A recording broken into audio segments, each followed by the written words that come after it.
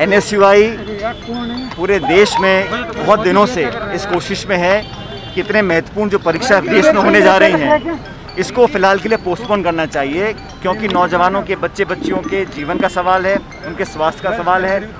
हिंदुस्तान में लगातार संक्रमण की संख्या बढ़ रही है लोग संक्रमित हो रहे हैं कोविड 19 के केसेस लगातार बढ़ रहे हैं और अभी हम पीक तक नहीं पहुँचे ऐसी स्थिति में लाखों बच्चों की ज़िंदगी के साथ खिलवाड़ करना मैं समझता हूँ गलत है और केंद्र सरकार ने जो जिद पकड़ी है, उस जिद को छोड़ना पड़ेगा।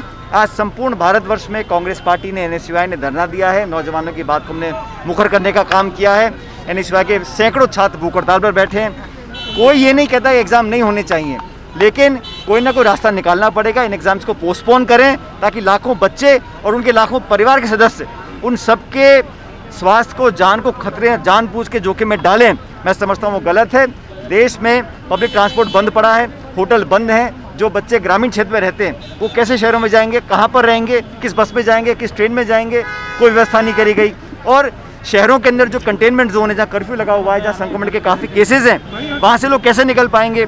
एक बजे एग्ज़ाम है, लोग एक रात पहले जाएँगे। ये सब व्यवस्थाएँ करने के लिए मैं समझता हूँ समय लगेगा।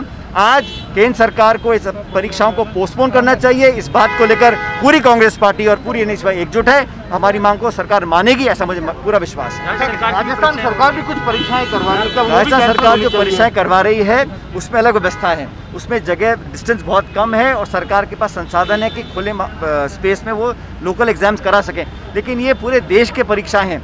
किसको कहाँ जाना है?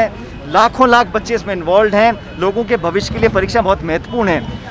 प्रदेशों में छोटे मोटे एग्ज़ाम्स होते हैं, उसको लोग उसमें डिफर कर भी सकते हैं, नहीं भी कर सकते हैं, लेकिन वो व्यवस्था लॉजिस्टिकली बन सकती है।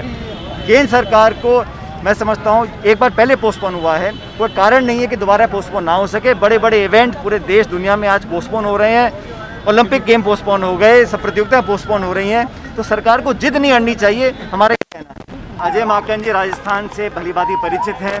इससे पहले 2013 में जब चुनाव हुए थे तो टिकट वितरण में वो सिलेक्शन कमेटी के अध्यक्ष थे।